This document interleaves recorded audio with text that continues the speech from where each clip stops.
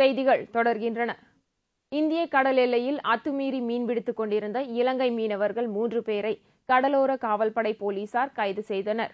மண்டபத்தில் உள்ள இந்திய கடலோர காவல்படையினர் பாக் ஜலசந்தி கடல் பகுதியில் வழக்கம் போல் கண்காணிப்பு ரோந்து பணியில் ஈடுபட்டுக் கொண்டிருந்தனர். அப்போது தனுஷ்கோடி அருகே அந்நிய நாட்டு படகு வருவதை கண்ட இந்திய கடலோர காவல்படையினர் படகை சுற்றி வளைத்து விசாரணை மேற்கொண்டனர். அப்போது இலங்கை நீர்கொழும்பு பகுதியை சேர்ந்த மீனவர்கள் என்பது தெரிய வந்தது இதையடுத்து இலங்கை மீனவர்கள் மூன்று பேரையும் போலீசார் கைது செய்தனர். மேலும் அவர்களது படகும் பறிமுதல் செய்யப்பட்டது. கூடலூர் அருகே ஆதிவாசி பெண் ஒருவரை காட்டு யானை மிதித்துக் கொன்ற சம்பவம் அந்த பகுதி மக்களிடையே பெரும் அச்சத்தை ஆழ்த்தியுள்ளது. கூடலூரை அடுத்துள்ள புளியம்பாறையில் வசித்து வருவர் ஆதிவாசி பெண் கோகிலா. இவர் மூன்று பெண்களுடன் அருகில் உள்ள காட்டுப் பகுதிகளில் விறகு எடுப்பதற்காக சென்றுள்ளார். அப்போது அந்த பகுதியில் மதம் பிடித்து சுற்றி கொண்டிருந்த காட்டு யானை ஒன்று கோகிலாவை மிதித்து துவம்சம் செய்துள்ளது. இதில் அவர் சம்பவ இடத்திலேயே பரிதாபமாக உயிரிழந்தார். இதையடுத்து தகவல் அறிந்து அங்கு வந்த வனத்துறையினர் மற்றும் காவல்துறையினர் கோகிலாவின் உடலை கைப்பற்றி கூடலூர் அரசு மருத்துவமனைக்கு கொண்டு சென்றனர். யானை தாக்கி உயிரிழந்த ஆதிவாசி பெண்ணின் குடும்பத்திற்கு உரிய நிவாரணத் தொகை வழங்க வேண்டும் என்று உறவினர்கள் கோரிக்கை விடுத்துள்ளனர். இன்னைக்கு மத்தியானத்துக்கு மேலே வந்துட்டு இந்த பகுதியில் வந்துட்டு விரைவு பொறுக்கிறதுக்காக ஆதிவாசி பெண்கள் வந்துட்டு மூணு பேர் காட்டுப்பகுதி சென்றிருக்காங்க போன இடத்துல வந்துட்டு கோகிலா என்ற ஆதிவாசி பெண்மணி வந்துட்டு பயங்கர கொடூர கொடூரமான முறையில் வந்துட்டு யானை தாக்கி இறந்துருக்காங்க. இறங்கியிருக்கான்னு சொன்னால் வந்துட்டு சாதாரணம் இல்லை. தலை வேற கை வேற கால் வேற அந்த மாதிரி வந்துட்டு இந்த மாதிரி ஆயிருக்கு. இது வந்துட்டு பல தடவை நாங்கள் வந்துட்டு வந்துட்டு பல கோரிக்கைகள் மேலிடத்துக்கு வந்துட்டு கலெக்டர்லேருந்து மற்ற கவுன்சிலர்லேருந்து எல்லாரும் எல்லாருக்குமே நாங்கள் வந்துட்டு இந்த கோரிக்கையில் வச்சுருக்கோம். ஆனால் இது வரைக்கும் எந்த கவர்மெண்ட் லெவலில் வந்துட்டு எந்த நடவடிக்கை இது வரைக்கும் எங்களுக்கு இல்லை. இந்த போல சம்பவம் இனிமேல் நடத்தினா மென்மேலும் வந்துட்டு ஒவ்வொரு நாளும் வந்துட்டு அச்சத்தில் தான் இந்த பகுதி மக்கள் வாழ் திருவள்ளூரில் உள்ள தனியார் பள்ளியில் பத்தாம் வகுப்பு தனித்தேர்வு நுழைவுச் சீட்டு வாங்க வந்த பள்ளி மாணவ மாணவிகள் குவிந்ததால் கூட்டத்தை கட்டுப்படுத்த போலீசார் லேசான தடியடி நடத்தினார்கள். திருவள்ளூர் மாவட்டத்தை சேர்ந்த பத்தாம் வகுப்பு தனித்தேர்வு எழுத உள்ள சுமார் இரண்டாயிரத்திற்கும் மேற்பட்ட மாணவ மாணவிகள் அனைவரும் பூந்தமல்லியில் உள்ள பள்ளியில் நுழைவு சீட்டு பெற்றுக் கொள்ளலாம் என அறிவிக்கப்பட்டது.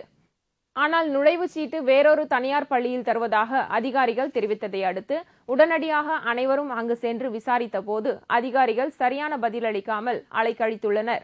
இதனால் கொதிப்படைந்த மாணவ மாணவிகள் கடும் வாக்குவாதத்தில் ஈடுபட்டனர். இதனிடையே நுழைவுச் சீட்டு பெற்று செல்ல ஏராளமான மாணவர்கள் அங்கு குவிந்ததால் லேசான தடியடி நடத்தி நிலைமையை போலீசார் சீர் செய்தனர். கூட்ட நெரிசலில் சிக்கி மயக்கமடைந்த மூன்று மாணவிகள் உடனடியாக மருத்துவமனையில் அனுமதிக்கப்பட்டனர். பழனி முருகன் கோவிலில் பங்குனி உத்திர திருவிழா கொடியேற்றத்துடன் தொடங்கியது. இதன் முக்கிய நிகழ்ச்சியாக வரும் ஐந்தாம் தேதி தேரோட்டம் நடைபெறவுள்ளது. பிரசித்தி பெற்ற பழனி முருகன் கோவிலில் ஆண்டுதோறும் பங்குனி உத்திர திருவிழா பத்து நாட்களுக்கு நடைபெறும். அதில் ஏழாம் நாளன்று தேரோட்டம் வெகு விமர்சையாக நடத்தப்படும். அதன்படி இந்த ஆண்டுக்கான பங்குனி உத்திர திருவிழா நேற்று கொடியேற்றத்துடன் தொடங்கியது. இதனிடையே உலக பிரசித்தி பெற்ற திருப்பதி தேவஸ்தானத்திற்கு அருகே உள்ள ஸ்ரீ கோதண்ட ராமசுவாமி திருக்கோவிலில் சகஸ்திரதானம் நடைபெற்றது. இந்த நிகழ்ச்சியில் ஏராளமான பக்தர்கள் கலந்து கொண்டு சுவாமி தரிசனம் செய்தனர். ஸ்ரீ கோதண்ட ராமசுவாமி அஸ்வ வாகனத்தில் அமர்ந்தபடி பக்தர்களுக்கு காட்சி அளித்தார். பூம்புகார் அருகேயுள்ள ஓட்டன்காட்டில் பிரசித்தி பெற்ற சீதலாதேவி மகா மாரியம்மன் ஆலயத்தில் தீமிதி உற்சவம் வெகு சிறப்பாக நடைபெற்றது. அப்போது சிறப்பு அலங்காரம் செய்யப்பட்டு பவனி வந்த அம்மனிடம் ஆயிரக்கணக்கான பக்தர்கள் அருளாசி பெற்றுச் சென்றனர். இதேபோல் ஈரோடு மாவட்டம் சத்தியமங்கலம் அருகே புகழ்மிக்க பன்னாரி அம்மன் கோவிலில் குண்டம் விழா தொடங்கி சிறப்பாக நடைபெற்று வருகிறது. அருகில் உள்ள வெள்ளியம்பாளையம் என்ற கிராமத்திற்கு அம்மன் வீதி உலா செல்வது வழக்கம். தற்போது ஆற்றில் தண்ணீர் அதிகமாக இருப்பதால் பரிசலில் பன்னாரி அம்மன் பவானி ஆற்றை கடந்து சென்ற காட்சி ஆயிரக்கணக்கான பக்தர்கள் திரண்டு வந்து வழிபட்டனர்.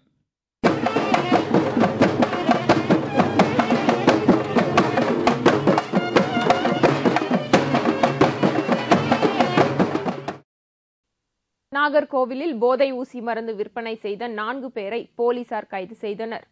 அவர்களிடமிருந்து போதை ஊசி மருந்துகளையும் பறிமுதல் செய்தனர். நாகர்கோவிலில் பேருந்து நிலையம் உள்ளிட்ட மக்கள் நடமாட்டம் அதிகம் உள்ள பகுதிகளில் போதை ஊசி மருந்து ரகசியமாக விற்பனை செய்வதாக வடசேரி போலீசாருக்கு ரகசிய தகவல் கிடைத்துள்ளது. இந்த தகவலை அடுத்து காவல்துறையினர் இரண்டு நாட்களாக தீவிர கண்காணிப்பில் ஈடுபட்டு வந்தனர். இந்த நிலையில் வடசேரி பேருந்து நிலையத்தில் போதை மருந்து விற்பனை செய்து கொண்டிருந்த நாகர்கோவிலை சேர்ந்த நான்கு பேர் கொண்ட கும்பலை போலீசார் கைது செய்தனர்.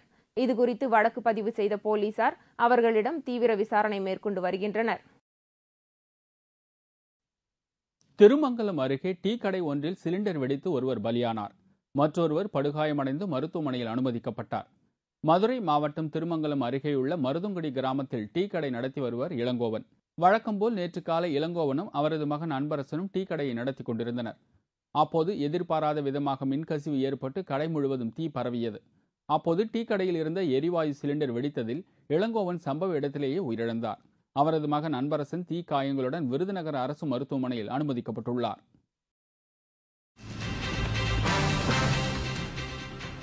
ஜோஹன்ஸ்பர்கில் நடைபெற்ற நட்பு ரீதியிலான twenty twenty cricket Duckworth Lewis முறைப்படி தென்னாப்பிரிக்கா வெற்றி.